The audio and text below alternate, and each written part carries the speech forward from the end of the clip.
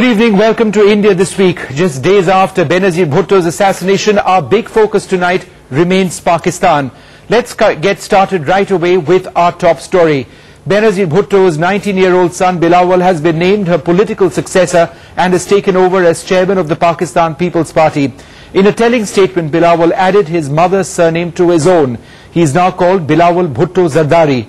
After a day-long meeting in Benazir's ancestral home of Larkana in the Sindh province, senior PPP leader Makhdoom Amin Fahim said that in her will, Benazir had actually wanted her husband to succeed her. But Asif Zardari chose to pass the mantle to his son instead. However, Bilawal will be essentially a figurehead for the moment. He will go back to his studies at Oxford until he finishes his father will lead the PPP. I have very mixed feelings about my children going into politics. Certainly I'd like them to have a career. Certainly I'd like them to do something which is for society. But I feel this can be done in many different ways.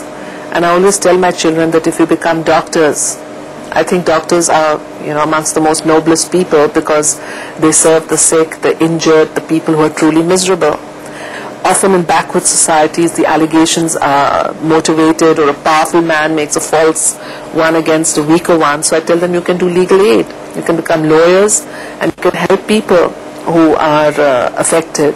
So I want them to do something for society.